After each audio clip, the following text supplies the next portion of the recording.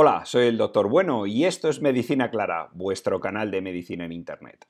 El tema que vamos a tratar hoy son los niveles adecuados, los niveles buenos que hay que tener en relación con el PSA, es decir, con el antígeno prostático específico, ya que existe pues eh, discusión y controversia y muchos mitos alrededor de este valor analítico que se obtiene de un análisis de sangre en relación con el cáncer de próstata.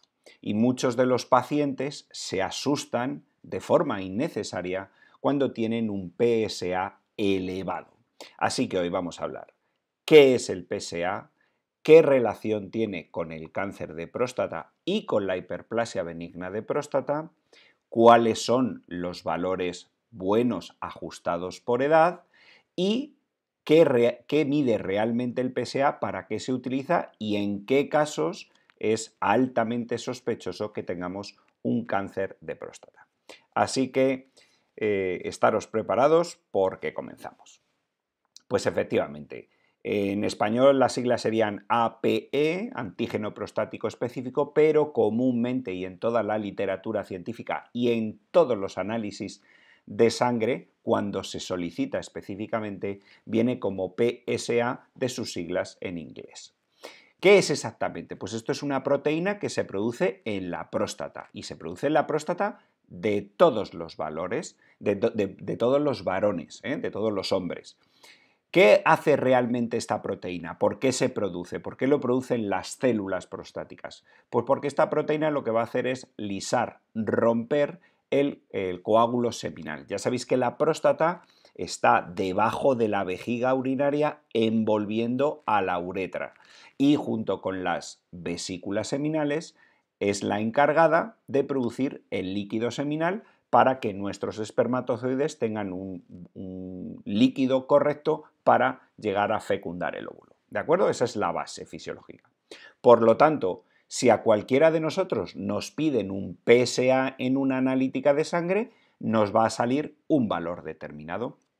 ¿Cuáles son los valores adecuados que tenemos que tener ajustados a la edad? Pues mirad, por regla general, aunque hay variaciones entre, entre, los más jóvenes y de 40 a 55 años, se estima de forma global que eh, los valores normales son los que veis aquí en la imagen. Todo aquel que tenga un PSA por debajo de 4, eh, sobre todo en aquellos varones entre 50 y 59 años, pues es un valor que está considerado normal.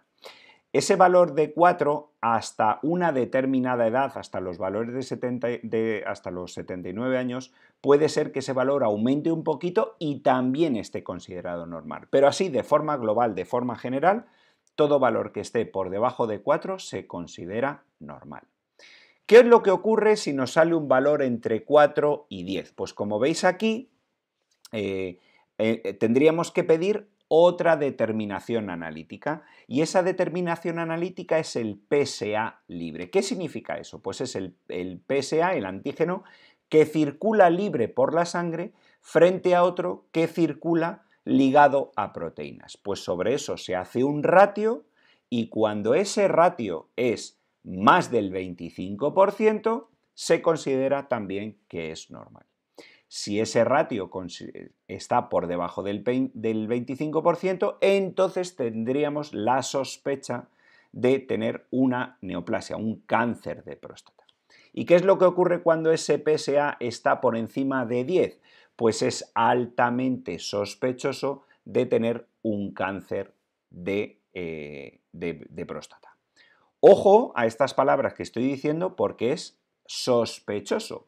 El PSA, y es uno de los mitos que quiero quitar, no indica ni asegura que tengas un cáncer de próstata. Es decir, que un varón de 60 años puede tener un PSA de 9 y no tener un cáncer de próstata, por ejemplo, porque el porcentaje de PSA libre sea mayor del 25%. O incluso aunque ese PSA sea menor del 25%, no tener ese cáncer, pero sí que nos indica a los médicos que debemos hacer algunas pruebas más. que podría ser una ecografía transrectal, que se hace, que se hace a través del recto, o una biopsia de la próstata. E incluso puede haber situaciones que un paciente con un PSA por encima de 10 pues no tenga absolutamente nada, ningún nódulo ni ninguna otra alteración y que todos los síntomas que él vaya manifestando correspondan a simplemente una hiperplasia benigna de próstata. Pero lo que nos indica es que debemos hacer más pruebas. Así que, de entrada, ¿el PSA me dice que tengo cáncer? No es así. Es una prueba más que nosotros podemos consultar y que nos hace elegir qué camino vamos a seguir en busca de un diagnóstico de un posible cáncer de próstata. Esto es muy importante porque si no la gente se asusta con estos valores del PSA. Otro de los mitos que tenemos. Imagínate que tenéis un PSA alto, os detectan un cáncer de próstata, os operan, ese PSA cae y nuevamente en una analítica posterior vuelve a subir. ¿Qué ocurre? ¿Quiere decir que vuelvo a tener un cáncer de próstata, que tengo una recidiva? Que pues no, lo que me está indicando en una sola determinación es que tengo que seguir buscando, que tengo que hacer otras pruebas. Por lo tanto, esas subidas repentinas en una sola toma tampoco me indican que tengo un cáncer de próstata.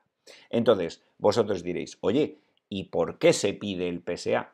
Porque junto con los síntomas que tiene el paciente y la exploración que hacemos los médicos en esa próstata, todos esos, los valores del PSA, la exploración y los síntomas, nos va a ir enfocando hacia si el paciente tiene o está todo completamente normal o tiene una hiperplasia benigna de próstata o tiene un cáncer de próstata. Así que de cuando solicite vuestro médico un PSA de forma de screening, que no os asusten los valores únicos que aparezcan. De hecho, algunos pacientes pueden tener, por ejemplo, un PSA de 5 y si en la exploración no se ve nada, en la ecografía no se ve nada, a lo mejor lo que, lo que se indica es que se repita esa nueva analítica eh, unos meses después. ¿Para qué? Porque pueden ser valores puntuales que suben y no tener ninguna significación clínica. Por lo tanto, importancia del PSA. ¿Es bueno hacer determinaciones de este PSA en aquellos pacientes que tienen síntomas de próstata? Sí, por supuesto, es una medida excelente. Debe hacerse de forma rutinaria y todos los hombres nos tenemos que volver locos haciéndonos un PSA cada vez a partir de los 50 años y hacérnoslo repetidamente. No es necesario, solo en aquellos casos que tengamos esos síntomas y o alguna sospecha, pues que tengamos sangre en la orina, que tengamos alguna dificultad o que tengamos algún otro problema o algún otro síntoma relacionado o no con la próstata y que nuestro médico nos lo solicite en la analítica. Así que de forma rutinaria, no. De forma dirigida, sí. ¿Indica cáncer? No por sí mismo, sino sumado con las otras pruebas.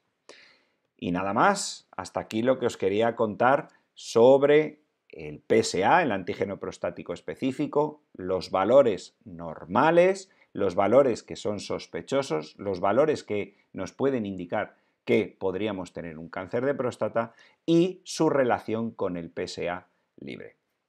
Espero vuestros comentarios en el canal y que por supuesto lo compartáis en las redes sociales con familiares y con amigos. Yo soy el doctor Bueno y esto es Medicina Clara, porque una medicina comprensible es posible y necesaria. Muchísimas gracias.